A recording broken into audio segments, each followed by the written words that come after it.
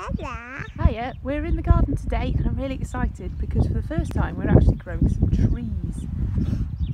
Um, we do a lot of tree planting each year but we're trying to grow some of our own trees. So last autumn we collected lots of hazelnuts and we put them in to um, just plant pots with sort of sandy gravel on them um, and left them over winter and because they get really cold in the pots over winter it helps the nutshells to split open so come spring the nuts should all be splitting open. So we're just going to tip them out to see if they're doing anything.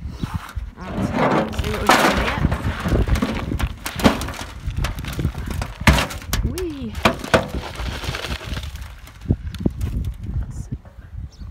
Don't know if you can see this, but it's looking quite good. We've definitely got a few in here that are that are splitting. So you can see we've got the shoots coming out through the top of the nuts and they're ready to go get planted in the ground. So I'm just going to collect them all out of this sand and gravel. And what we're going to do, I'm going to plant them in rows, just like this. And we've got some rows going in already. And then hopefully over this year, they will grow and we'll have lots of little hazelnut trees by this time next year.